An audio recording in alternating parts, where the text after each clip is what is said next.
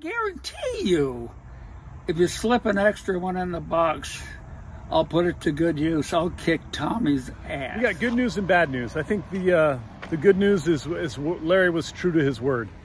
Uh, with the bird that uh, Silvio Maydis Loft had sent him, uh, he scored second place in the club and he beat us. Um, so so shout out to, to Silvio and I know there were several of you that sent birds to Larry. He had a he had a he had a decent race. Um, I think uh, top 10%. Firebird had a bird in there from Larry's loft that uh, was fifth place in the club. Um, we were fourth, sixth, and seventh. We got a bird. Hey bird, where'd he go? Hey buddy. Hey buddy.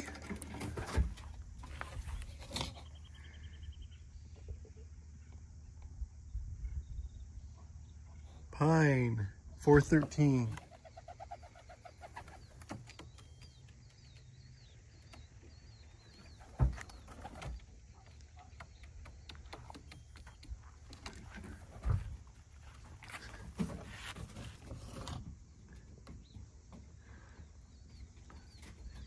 Uh, Giovanni, New Mexico Racing Pigeon Club in Robertson.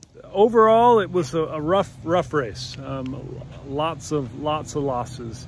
Um, in the combine, we only had 62% uh, returns as of people doing doing knockoff. So on Benzing Live. Uh, the club, we had 72% returns, and in our loft and Larry's loft both, we had 85% returns. So we unfortunately did have some losses, kind of a double whammy. Um, Skyview, uh, unfortunately, both your birds, the one that I had and the one that Larry had didn't make it back.